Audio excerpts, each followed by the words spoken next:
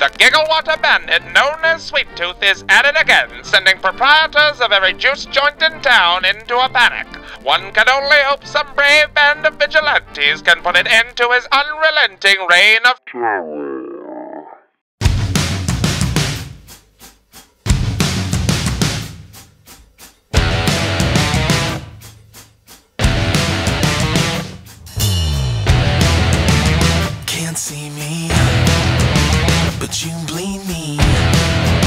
You hear me?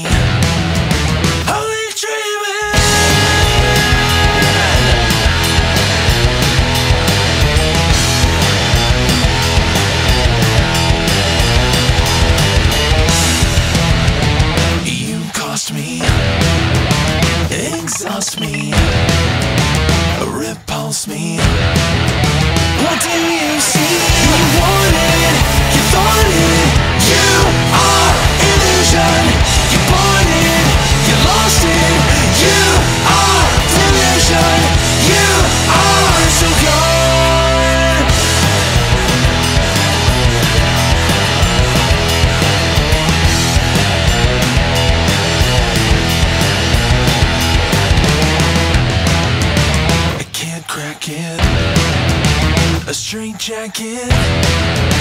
Ooh.